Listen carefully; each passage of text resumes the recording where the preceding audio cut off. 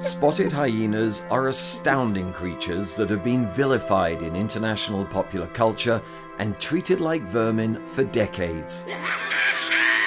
Because of their terribly unfair reputation, these fascinating, affectionate animals have not received the research or conservation attention that they need. Spotted hyenas are far from ugly, slobbering scavengers shown in movies.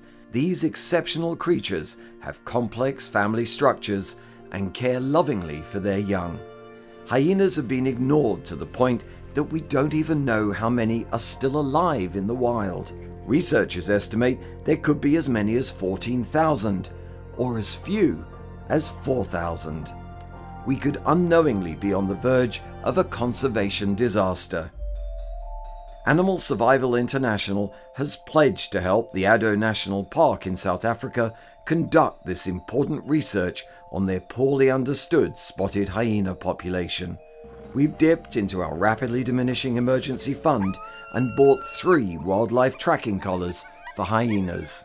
By purchasing three satellite tracking collars, we're already helping to gather new information on the previously unknown behavior of the collared animals. So we're busy fitting her collar. We're just making sure that she's got enough room to breathe comfortably. But we need more collars to help scientists continue with this research project.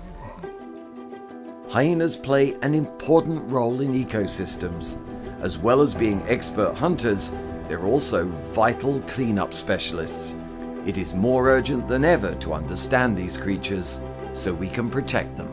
We urgently need your help to buy more colours so we can do the vital research on these animals that's needed. If you look at the screen here, showing us all the colours currently that's deployed in Addo, that's, the, that's our mandate to look after these animals. So for us it's critical to get more colours so we can better manage the population